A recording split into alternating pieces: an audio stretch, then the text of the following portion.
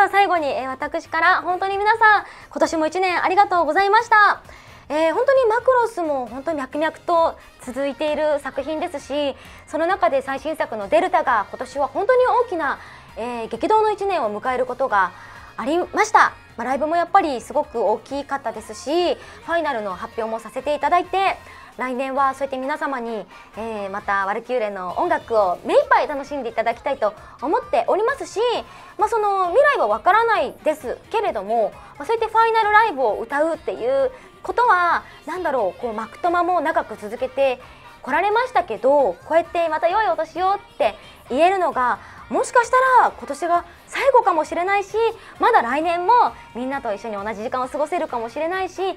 来は分かりませんけどでも改めてファイナルっていうことを実感することでなんかやっぱり今こうやって楽しい時間を過ごせてるっていうことの大きさとか存在の大きさをやっぱり感じることができてやっぱりこの3人でいる時間は楽しいし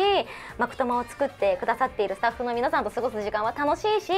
本当に何だろう幸せを煮詰めたような時間だなっていう風に感じています。コメントでもね本当になんかマクトマはホームっていうのがさっき流れてきたんですけど、うん、そんな気持ちで